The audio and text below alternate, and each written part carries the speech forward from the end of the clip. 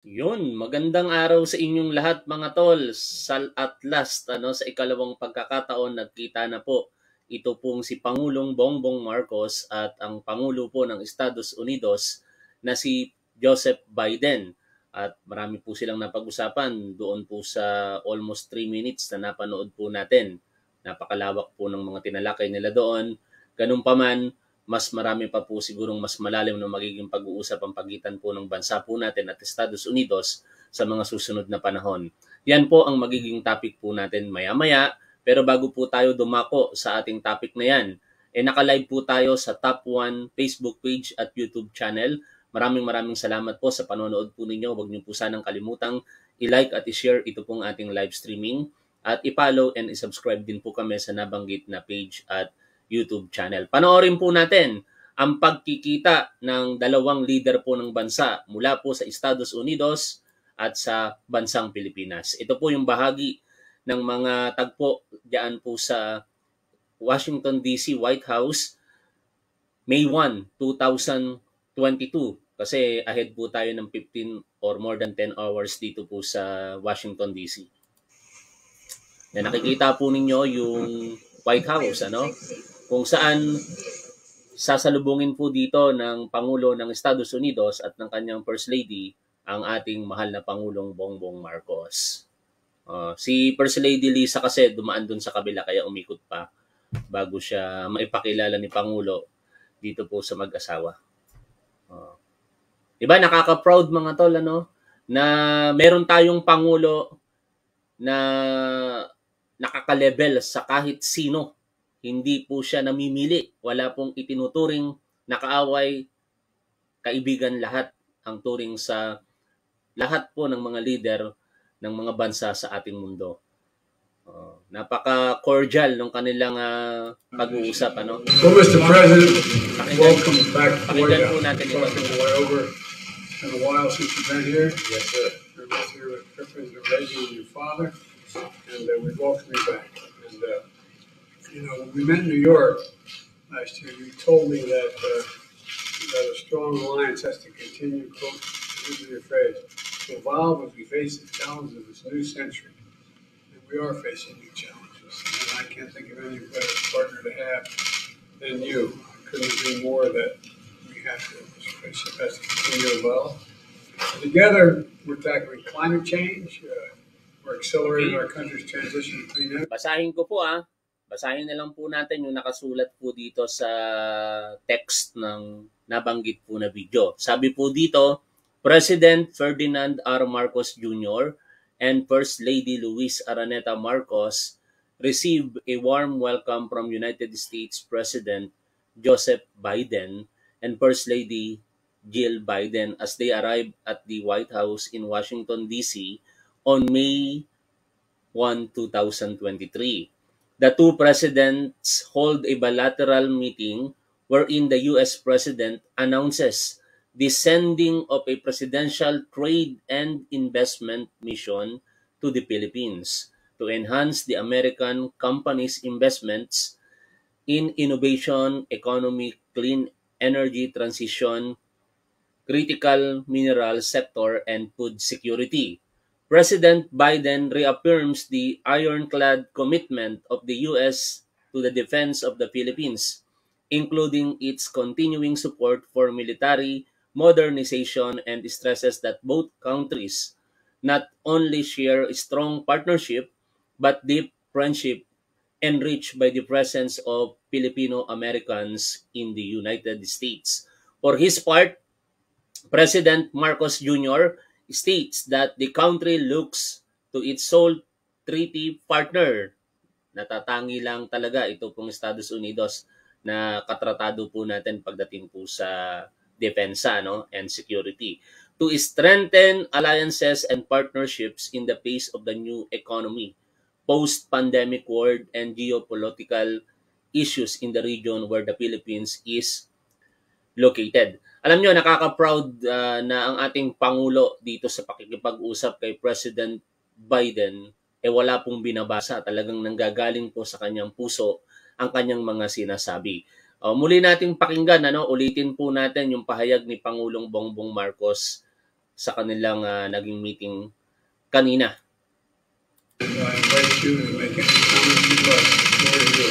Thank you very much, Mr. President. Uh, and I, as you say, uh, it, uh, in the difficult times that we are facing of us, uh, we need to find many ways to uh, strengthen our alliances and our partnership uh, in the face of the, the, new economy that we are facing post pandemic.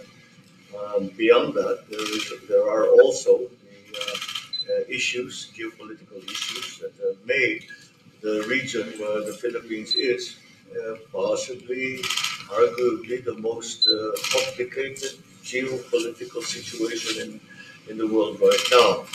And so it is only natural that uh, the Philippines to look to its uh, sole treaty partner um, in the world uh, to strengthen and to redefine uh, the, the, relationship that we have and the roles that we play in the face uh, of uh, those rising tensions that we see now around the South China Sea and uh, Asia Pacific and Indo Pacific region. So I welcome very much the opportunity uh, to come here, uh, to visit with you in the White House and to discuss all these terribly important issues.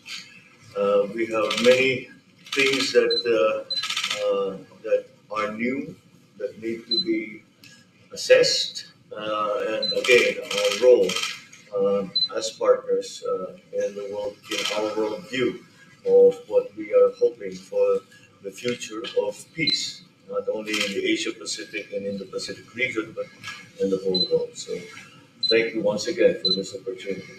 Uh, okay, napakinggan po natin ha, yung pag-uusap ng dalawang, I should say, uh, sa akin, syempre, si Pangulong Bongbong Marcos is a great leader. I do not know sa mga taga Estados Unidos diyan po sa kanilang presidente na si Joseph Biden kasi nahahati ngayon eh. Malapit na ang eleksyon sa kanila, next year na po 'yon. But going back dito po sa ating pinag-uusapan, naging bahagi din po ng activities ng ating mahal na Pangulo ang pakikipag salamuha, yung meet and greet niya diyan sa Filipino community sa United States. Hindi lamang sa mga taga Washington DC kasi may mga taga ibang states na pumunta talaga sinadya yung lugar para po ma-meet ang ating mahal na Pangulo. Pakinggan naman po natin ang talumpati po ng ating mahal na Pangulo kaugnay po ng pakikipagharap niya diyan po sa Filipino community diyan sa United States, in particular sa Washington, D.C. Maraming salamat sa ating uh, kalihim ng Department of Foreign Affairs, ang ating uh, Secretary, Secretary Ricky Manalo. Andito rin, oy, upo na po kayo.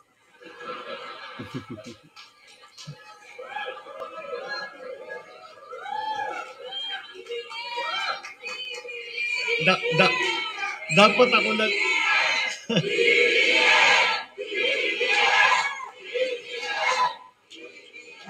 dapat ako lang yung nakatayo. Ah, uh, andito po, marami po tayong uh, uh, babatiin at nandito po, marami na po, marami po tayong kasama na sinama ko rito sa Amerika upang makipag-usap sa gobyerno ng uh, Estados Unidos at uh, nandito po unang-una ang ating speaker ng House of Representatives, Speaker Martin Romualdez. Anyway, i-pass forward natin ha, mga pagbati lang naman yan sa pagpapakilala ng ating Pangulo sa mga kasama niya dyan sa Estados Unidos. Ipuntahan po natin yung particular na po na talumpati ng ating mahal na Pangulo. Ang tumutulong po sa atin na ayusin at pagandahin oh, yan pa rin. ang uh, ah, IT at dito tayo. nagpunta ron para ilabas ang ating mga Filipino nationals. Secretary Toots Ople. Mahaba pala yung pagpapakilala niya. Ano? Ito tayo. Hanggang pa ba? Gabi na? No, wala. Ayan, yan. Kaya eh, na, eh, kayo, namimilit kayo. So sige, papakilala ko na ah, ang aking anak na panganay. Si uh, Congressman Sandro Marcos. Sandro Alam niyo mga tol, ma-segue ko lang yung topic natin. Ano? Tama-tama yung pagkaka-post ko dito sa video. Ano? Nakikita niyo ba na magiging pangulo itong si Congressman Sandro Marcos sa hinaharap? Ito ah, kung hindi magbabago ang constitution, kung hindi tayo magiging parliamentary form of government or federal form of government, tingin ko magiging pangulo itong si Congressman Sandro Marcos. Ang kailangan na lang naman kasi dito sa kanya, yung karagdagang karanasan dahil napakabago niya nga po sa politika, saka syempre yung eligibility niya sa edad. Napakabata pa kasi nitong si Congressman Sandro Marcos. 29 years old yata ito, no? 1994 pinanganak po ito eh. March 27. I hope tama yung pagkakaalala ko. At uh, probably baka sa 2034 at 2028 hindi pa rin siya pwedeng tumakbo sa pagkasenador. Kaya maybe by 2031 pa ito makakatakbo sa pagkasenador and iboboto ko ito definitely. Lalong-lalo kung ito po ay tatakbo sa pagkapangulo kapag ka siya po ay eligible na sa nabanggit na posisyon. O, syempre, like father, like son, like grandfather, like grandson. O, ganun lang naman yan, di ba? Tuloy tayo. At sa inyong lahat, maraming maraming salamat po sa inyong pagdating. At uh, alam niyo po, ang uh, aming ginagawa, lahat ng pinupuntahan namin pagka kami nagbabiyahe, ay uh, nagsasabi, na ginagawa namin itong uh, ganitong klaseng programa. Dahil po, nung uh, kampanya, wala kaming pagkakataon na makapunta sa inyo dahil lockdown pa noon eh. Uh, may COVID pa noon, so hindi makapagbiyahe. Kaya sabi namin, eh ito naman ang mga tumulong sa atin. Kaya gagawa tayo ng rally para matikman naman nila kung ano yung rally noon tayo umiikot ng Pilipinas. Kaya uh, maraming salamat na nakarating kayo. Ito po ang aming na, ito nga nabaliktad eh. Nauna yung uh, nauna yung eleksyon bago yung rally. Kaya uh, kailangan ko idagdag, huwag niyo pong kalimutan iboto si Marcos at saka si Duterte.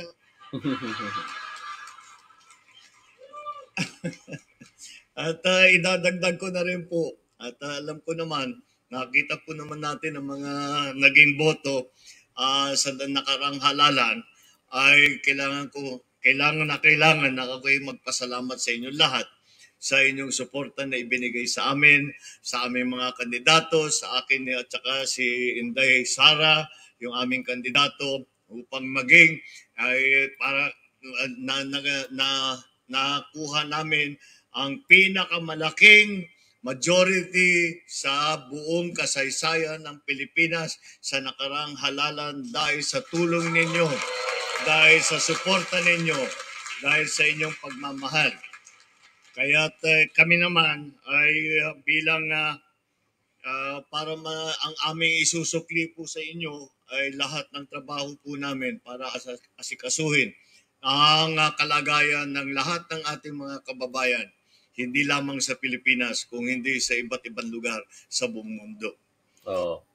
Naririnig ninyo mga bashers, yung mga tumutuligsa sa ating mahal na Pangulo kahapon ha, sa araw ng mga manggagawa o Labor Day.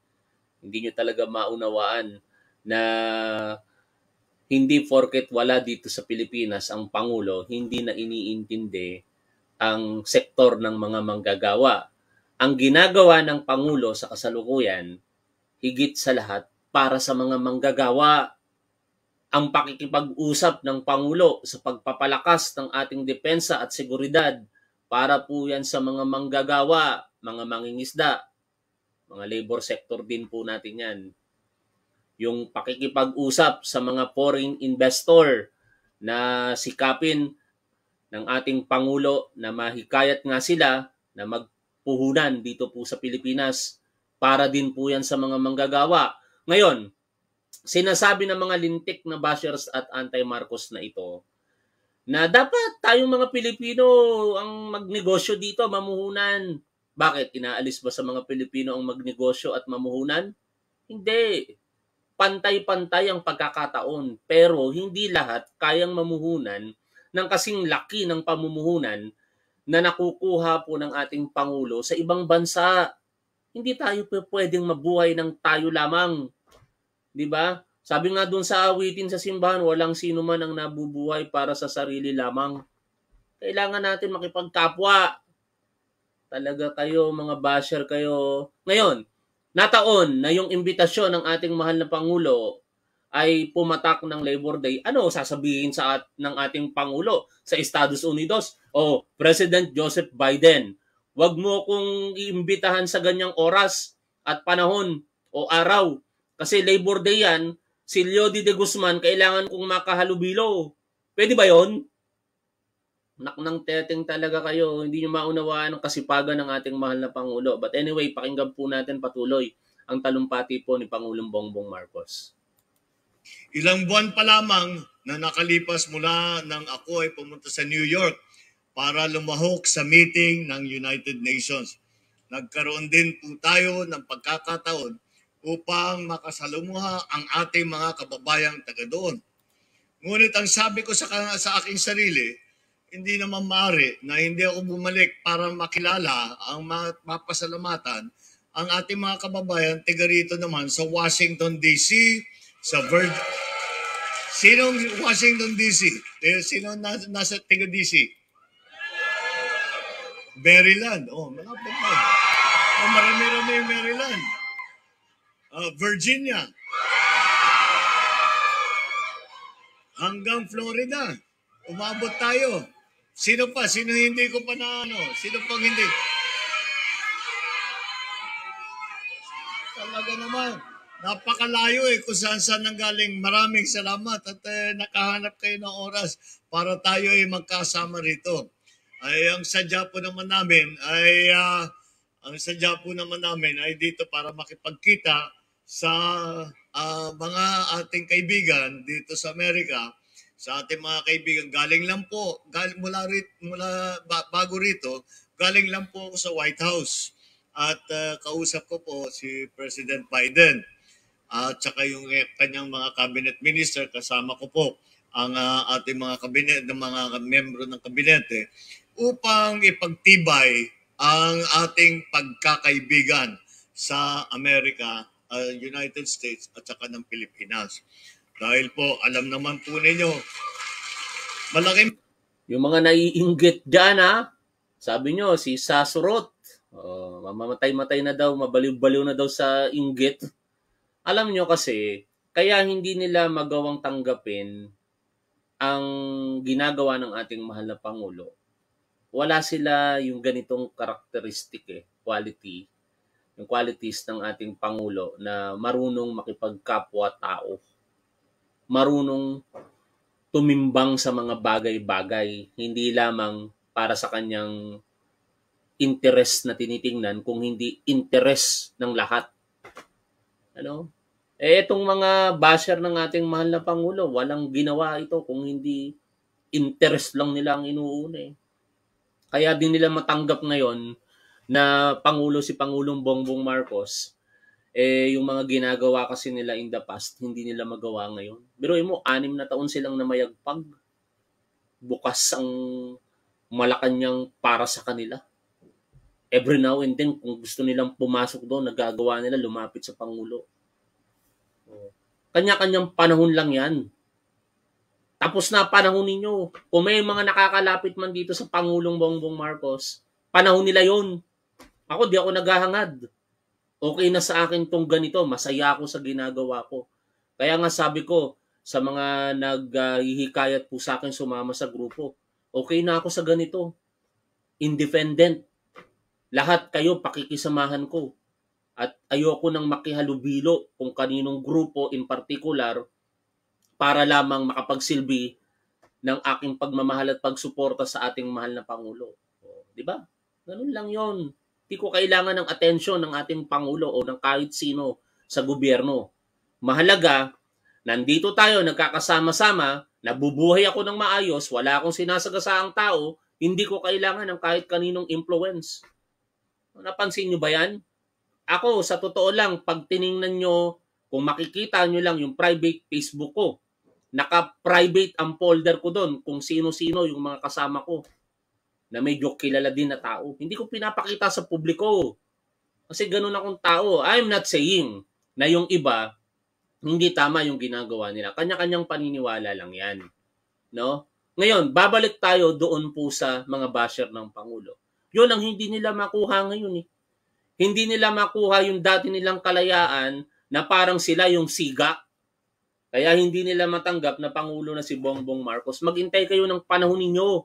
Darating yung 2028. Di ba? Susuportahan nyo si Vice President Sara Duterte. O ngayon, para kaming mga PBBM supporter, suportahan si Vice President Sara Duterte. Tigilan nyo si Pangulong Bongbong Marcos. Ayaw nyo tigilan si PBBM eh. Sa tingin nyo, susuportahan namin si Vice President Sara Duterte? Kung lalapas tanganin ninyo patuloy si Pangulong Bongbong Marcos at alam namin na ang nilalayo ninyo maupo si Vice President Sara Duterte, nataliwas naman sa mga paniniwala ninyong mga siraulo kayo. Diba? But anyway mga tol, hindi ako magtatagal sa live streaming na ito sapagkat meron po kaming meetups ng mga ka-BBM supporter natin. Hindi ko alam, baka busy sila kaya hindi ko nakikita dito. Pero nasa GC, nag-uusap-usap na sila. Malapit lang naman yung bahay ko sa Santa Lucia Mall. Eh, ayoko nung nalilate ako. Kaya pagtapos ng live streaming natin na ito, pupunta na ako doon. Ano? Sabi ko nga po sa aking mga estudyante, marami akong pagkakamali sa buhay, pero hindi ako nagkakamali sa oras. Huwag kayong magpapalit sa klase ko. Ganun po ako sa mga estudyante ko. Maraming maraming salamat mga tol. Bago tayo pansamantalang maghiwa-hiwalay, eh magbabalik muna ako sa inyong mga komento. Shoutout po sa inyong lahat at muli maraming salamat po.